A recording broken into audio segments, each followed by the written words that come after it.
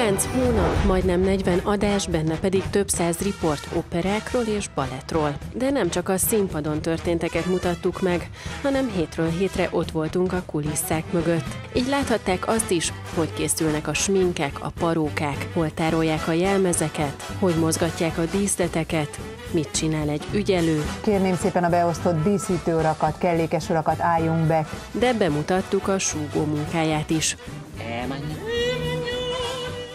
Ezeken kívül pedig láthatták azokat a komoly zene és táncszínhez kedvelő hírességeket is, akik elmondták, hogy szerintük miért is jó operába járni. Nekem nagyon-nagyon szép élményeim, az a Traviata, a Carmen például, tehát azok az operák, amiket, amikben ugye a sláger, az opera slágerek benne vannak. De portréinkon keresztül még jobban megismerhették az énekeseket és a táncosokat, beleláthattak magánéletükbe. Riportereinknek megnyíltak és olyan dolgokat meséltek, amelyeket eddig még sehol nem mondtak el.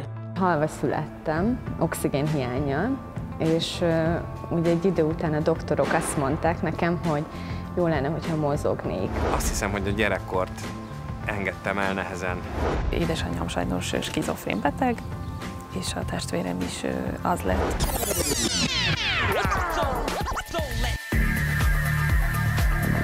A 2016-17-es évadban rekordszámú előadást láthatott a közönség, és ezeken mind ott voltunk.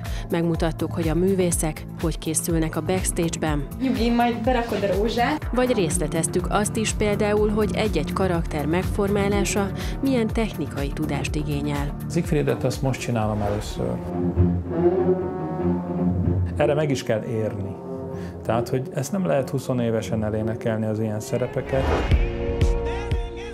De a darabokat zene és történetileg is elemeztük, és számos világhírű operaénekes is szívesen állt kameránk elé. Készítettünk interjút a többi közt az urugvái Erwin Schrottal, az amerikai Charles Castronovóval, de nyilatkozott a szintén amerikai René Fleming. In a song recital, there's no orchestra interlude, so it's just the voice for the entire two hours. A svéd Irene Teorin, a litván Christian Benedikt.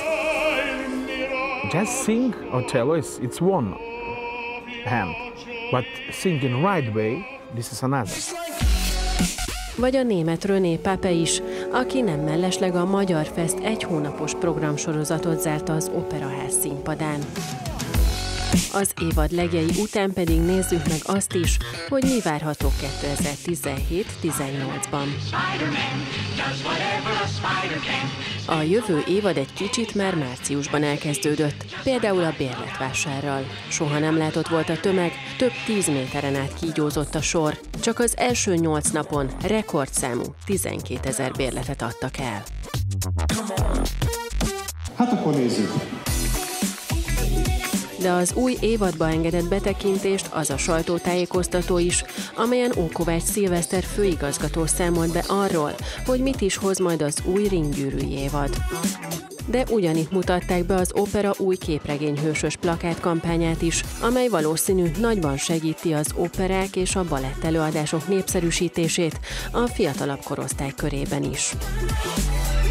Sűrű hónapok voltak ezek, és jövőre is nagy izgalmak jönnek. De hogy pontosan mit adott az idei évad, és mit hoz az új befejezésként, Ókovács Szilveszter főigazgató összegez. Most jön a nyár, most remélem mindenki kicsit föltöltődik, és a következő évad pedig egy, hát hogy mondjam, inkább olyan amerikánusan, hadd mondjam a félig tele pohár alapján, hogy egy nagyon izgalmas évadnak ígérkezik, mert operaház nélkül kell lefolytatnunk, csak Erkel színházzal, viszont az Erkel mellett ahova ugyanannyi bérletet sikerült eladnunk, mint az operában és az Erkelbe együtt eddig, tehát sikerült a nézőket átcsábítani az Erkel színházba, ez fontos, de az Erkel mellett lesz végre számos külföldi utunk is. Az operaház művészei így határon túli magyarokhoz, de Berlinbe, Jordániába, Észtországba és New Yorkba is eljutnak majd, amiről természetesen mi is beszámolunk.